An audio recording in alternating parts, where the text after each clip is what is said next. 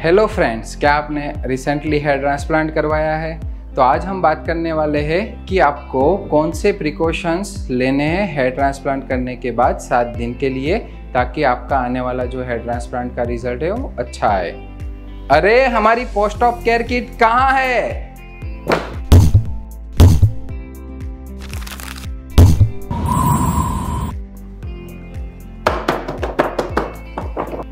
और पेशेंट तो ये है मिस्टर।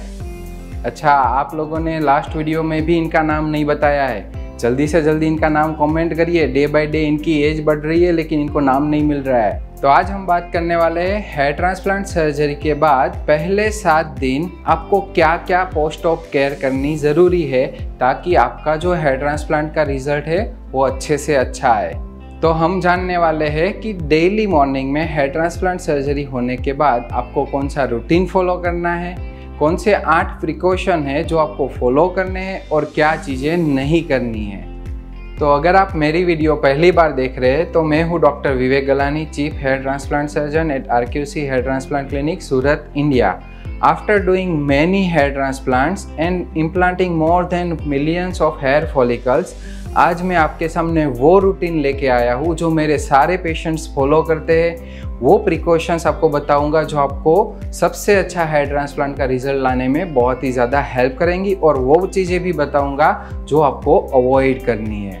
तो आठ प्रिकॉशंस जो आपको सर्जरी के बाद लेने हैं पहले सात दिन के लिए वो जानने से पहले हमको चार रूटीन्स जानने हैं जो आपको डेली मॉर्निंग में करने हैं। सबसे पहले आपको ये चेक करना है कि कहीं आपके फेस पर जो है स्वेलिंग तो नहीं आ गई है बहुत ज़्यादा फॉरेड पे या पीछे जहाँ पर सर्जरी हुई है। दूसरी चीज़ आपको ये चेक करनी है, कहीं पर आपको बहुत ज़्यादा पेन तो नहीं हो रहा है रिसिपियंट एरिया या डोनर एरिया जो आपका है, वहाँ पर पेन तो नहीं हो रहा है। तीसरी चीज़ आपको ये देखनी है कि आपके जो ग्राफ्स लगाए हुए हैं रिसिपियंट एरिया में, उनकी पोजीशन हिल तो नहीं गई है ग्राफ बाहर तो नहीं आ रहे, ये चीज़ यहाँ पर चेक करनी ज़रूरी है। और चौथी चीज़ आपको ये देखना है कि कहीं से बहुत ज़्यादा ब्लीडिंग तो नहीं हो रहा है, आगे रिसिपियंट एरिया से या पीछे से एरिया से। चार चीज़ें आपको डेली मॉर्निंग में चेक करनी है, पहले सात दिन तक, और वो है pain bleeding swelling and graft position तो आइए जानते हैं क्या है वो आठ प्रिकॉशंस जो आपको पहले सात दिन तक डेली फॉलो करने हैं। तो पहला है सलाइन स्प्रे तो आपको सर्जरी होने के बाद डेली सात दिन तक एवरी हाफ़ आवरली हर आधे घंटे पे आपको ये स्प्रे करना है रिसिपियंट एरिया में, यानी कि यहाँ पर ऐसे। तो जो स्प्रे है वो आपको ड्यूरिंग डे टाइम करना है। नाइट के टाइम पे आपको आराम करना है, अच्छी स्लीप लेनी है, क्योंकि अच्छी स्लीप लेने से आपको अच्छी रिकवरी मिलेगी और उससे आप जल्दी हील हो जाओगे। तो काफ़ी पेशेंट्स जो मेरे हैं, वो रात को अलार्म लगा के हर आधे आधे घंटे पर स्प्रे करते थे। आपको बिल्कुल भी नहीं करना है, सिर्फ़ दिन में आपको स्प्रे करना है, रात को सोना है। तो दूसरा प्रिकॉशन है स्वेलिंग के लिए, जहाँ पर आपको every thirty minutes to hourly दोनों अपने जो थम है, उसको फॉरहेड पे अच्छे से लगाकर प्रेस करते हुए मसाज करना है और कान के पीछे जाने देना है। रिपीटेडली आप पाँच से दस बार ऐसे कर सकते हो तो मसाज करने से जो स्वेलिंग आने का रिस्क है, वो कम हो जाता है। इसके सिवा आपको अपनी हेड पोजीशन मोबाइल यूज़ करते टाइम खाना खान, खाते टाइम या फिर कंप्यूटर यूज़ करते टाइम आपको हो सके उतना सीधा रखना है। पीछे या फिर कंप्यूटर और मोबाइल का काम आप लेटे लेटे भी कर सकते हो। और यदि आप स्वेलिंग और मसाज के बारे में ज़्यादा इन्फॉर्मेशन जानना चाहते हो तो हमने इसके ऊपर एक पूरी डिटेल में वीडियो बनाई हुई है, जिसकी लिंक ऊपर कार्ड में दी हुई है और डिस्क्रिप्शन में भी डाली हुई है। आप डेफिनेटली उसमें मैंने मसाज की भी टेक्निक बताई हुई है, आप देख सकते हो। तीसरा प्रिकॉशन है ड्रेसिंग, जो यूजुअली हम करते हैं 24 टू 48 आवर्स के बाद। तो ज़्यादातर हम हमारे पेशेंट्स को ड्रेसिंग के लिए क्लिनिक पर ही बुलाते हैं, ताकि आपका जो डोनर एरिया है, वो भी अच्छे से चेक हो जाए और रिसिपियंट एरिया है, वो भी अच्छे से चेक हो जाए। तो 24 टू 48 आवर्स के बाद अगर आप ट्रैवलिंग करने वाले हो तो हम यूजुअली ड्रेसिंग लगा लेते हैं, क्योंकि पेशेंट जब ट्रैवलिंग कर रहे होते, या तो वो कार से जाएँगे, या बस से जाएँगे ट्रेन या फ़्लाइट आप कभी भी जाओगे तो सीट में आप चांसेस रहते हैं कि आपके सर का जो डोनर एरिया है, वो पीछे सीट पे लगे। तो प्रिकॉशन के लिए हम ड्रेसिंग लगा के रखते हैं ड्यूरिंग ट्रैवलिंग जब आप घर पहुँच जाते हो, तब आपको हटा देनी है। चौथा जो प्रिकॉशन है, वो है आपके डोनर एरिया के लिए। अगर आपकी ड्रेसिंग पीछे से आज ही हटी है तो आपको ये स्टराइल शीट्स यूज़ करना बहुत ही ज़रूरी है।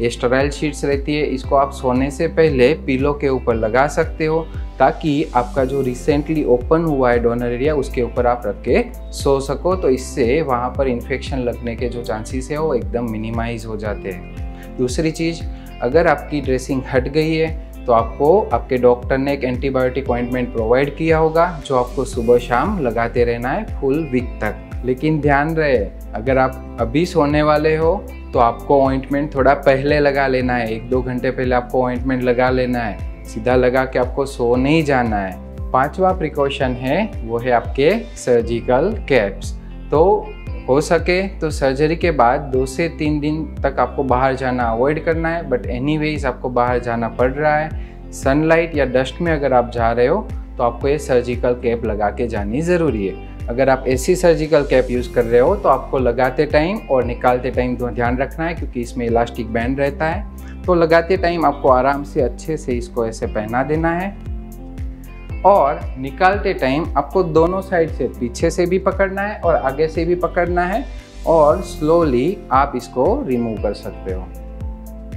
It's very easy so precaution number six यहाँ पर ये बहुत ही इम्पोर्टेंट है। आपको आपकी जो मेडिकेशंस जो आपके डॉक्टर ने प्रिस्क्राइब की हुई है, वो लेनी बहुत ही ज़्यादा ज़रूरी है। क्योंकि उसके अंदर एंटीबायोटिक्स होती है जो आपको इन्फेक्शन से बचाती है। उसके अंदर एंटी इन्फ्लामेटरीज होती है, जो इन्फ्लामेशन के साथ साथ आपका स्वेलिंग भी कम करेगी।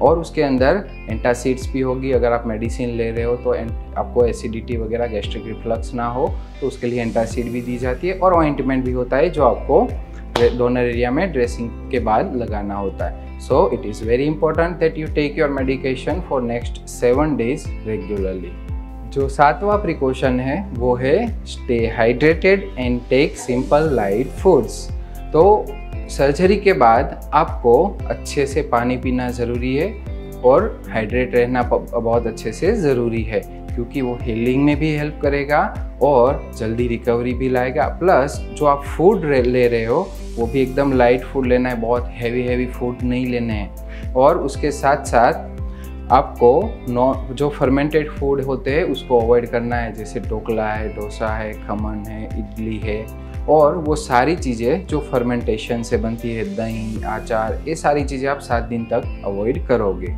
तो आठवां जो प्रिकॉशन है, वो है आपके स्लीपिंग पोजीशन के लिए। तो जब आप सो रहे हो, तब आपको सुपाइन पोजीशन में सोना है आपका जो नेक होता है, उसके नीचे आपको राउंड पिलो लगाना है, या फिर आप ट्रैवलिंग के दौरान जो वी शेप आप जो पिलो यूज़ करते हो, वो भी कर सकते हो।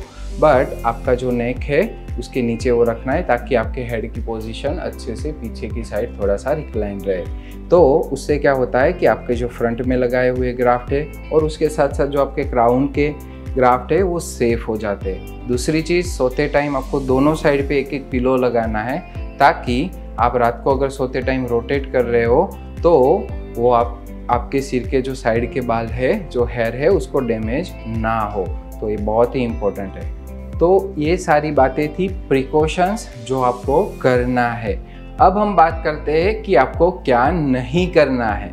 तो देखो क्या होता है कि हेयर ट्रांसप्लांट के बाद आपका जो ट्रांसप्लांटेड एरिया है, आपका स्काल्प है, वो पूरा नम्ब होता है। तो आपको समझ में नहीं आएगा, अगर वहाँ पर कुछ टच हो जाएगा तो अगर आप रात को सोते टाइम ऐसे हाथ रख रख के सोने की आदत है आपको, या फिर आप गाड़ी में बैठने जा रहे हो तो ये सब टाइम के दौरान आपको अच्छे से ध्यान रखना है, क्योंकि यहाँ पर हल्की सी भी डैमेज हुई, आपके ग्राफ्ट बाहर आ सकते हैं। दूसरी चीज़, आपको बार बार आपका जो ट्रांसप्लांट किया हुआ एरिया है, उसको टच नहीं करना है क्योंकि ऐसे रिपीटेटिव टच से आपको वहाँ पर इन्फेक्शन लगने के चांसेस बढ़ जाते हैं। तीसरी चीज़, अगर आप बाथ ले रहे हो तो आपको अच्छे से बात लेनी है फेस क्लीन कर लेना है बॉडी क्लीन कर लेना है। लेकिन आपको पहले सात दिन में अपना जो हेड है, उसको भी वॉश नहीं करना है। आपको आपके डॉक्टर जब बताएँगे, उसके बाद ही आप हेड वॉश अपना कर सकते हो।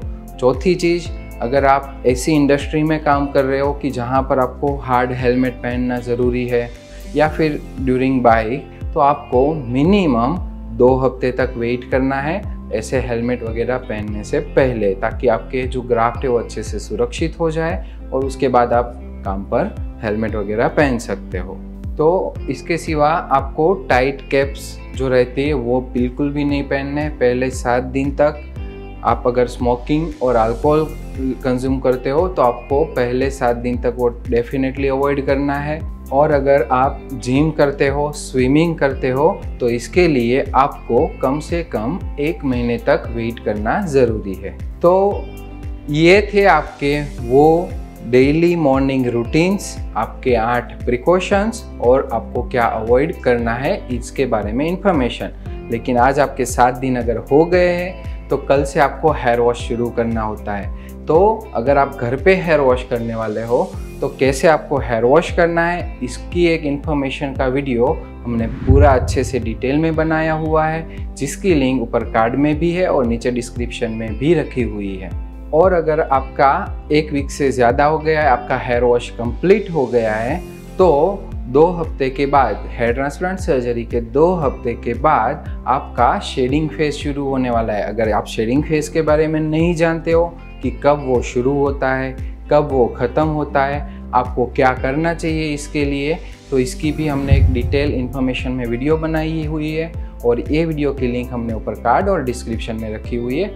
डेफिनेटली चेकआउट दैट वीडियो तो यदि आपको, जैसे मैंने डेली मॉर्निंग रूटीन बताया है उसमें आपको कुछ सही नहीं लग रहा है कि जो मैंने बताया उससे कुछ अलग हो रहा है, या फिर आपको प्रिकॉशन के रिगार्डिंग कोई भी डाउट हो अगर आपको किसी भी तरह की हेल्प की ज़रूरत है डेफिनेटली आप कमेंट बॉक्स में आप डाल सकते हो, या फिर डिस्क्रिप्शन में हमारा जो नंबर दिया हुआ है, वहाँ पर आप हमारी टीम के साथ कांटेक्ट कर सकते हो डेफिनेटली आपको हेल्प करेगी गाइड करेगी।